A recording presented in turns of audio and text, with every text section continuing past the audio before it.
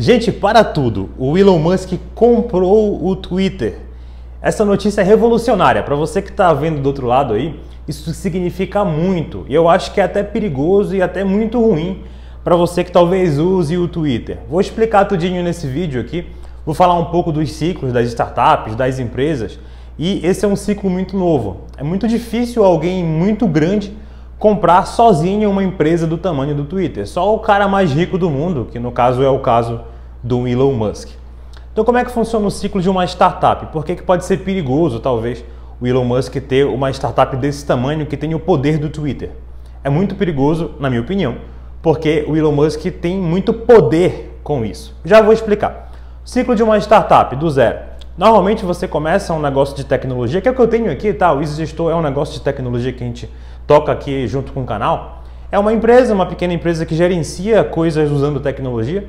Então, se você for perceber que a gente tem acesso até milhares, talvez até milhões de pessoas, dependendo do tipo de acesso, e a gente tem pouca gente trabalhando, porque os computadores, os robôs atendem essas pessoas. Então lá no Twitter ele tem bilhões de usuários, são pessoas que ficam mandando mensagens o dia todo, ele gerencia mensagens o dia todo, fotos, vídeos, textos.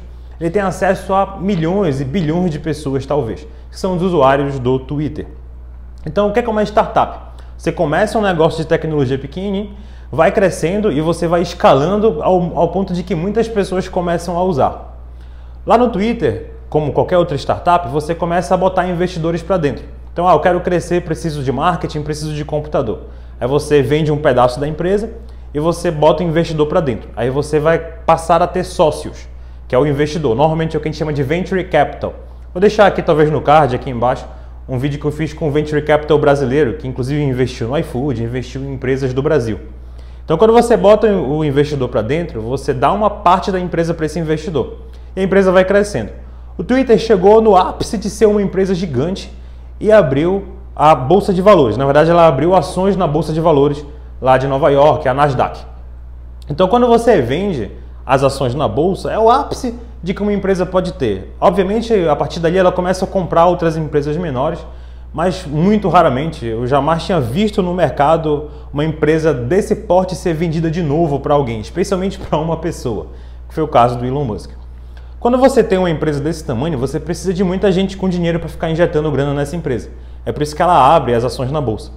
Quando o Elon Musk vai lá e compra o Twitter por 43 bilhões de dólares, ele pode fechar o capital da empresa, não ter mais sócios. Ele manda sozinho em todas as pessoas que estão ali dentro. Ele manda sozinho em tudo que pode acontecer na rede. Você já pensou? O presidente brasileiro tem um Twitter. Então ele pode rastrear, ele pode saber exatamente onde está o presidente na hora que ele quiser. Ah, onde é que está o fulano lá, do, sei lá, da, da Arábia? Então o fulano que pode ser talvez um inimigo dos Estados Unidos.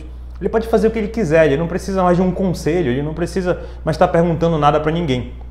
Quando você vende um pedaço da sua empresa na sua startup, você começa a depender dos sócios. Você é que nem como se fosse o governo brasileiro. Você tem ali o executivo, você tem o judiciário, você tem o legislativo.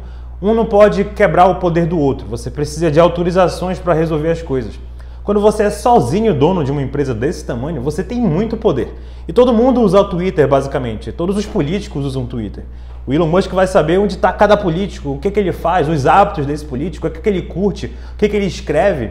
Dá para ele mandar uma eleição para o espaço. O Elon Musk pode fazer o que ele quiser.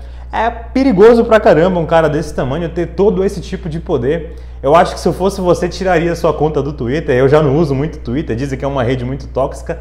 Eu não vou estar tá por lá por muito tempo. Então essa notícia é muito importante. Fique ligado nos próximos dias aí. Se eu fosse você, tiraria a conta do Twitter. Se eu fosse, sei lá, o presidente Bolsonaro, se eu fosse alguma coisa do tipo assim, eu também tiraria minha conta de lá, porque um bilionário, talvez, não sei se o Elon Musk é maluco. Eu acho que ele é um cara muito inteligente, mas ele tem muito poder. Ele pode saber onde cada um tá. Porque basta você fazer um tweet, basta você estar tá com o aplicativo instalado no celular que ele está mandando muita informação para alguém. Se você gostou desse vídeo, não se esqueça de curtir, compartilhar, não se esqueça de se inscrever no canal, aperte no sininho para receber as notificações. Muito obrigado por ter assistido esse vídeo até aqui. Um grande abraço e até a próxima.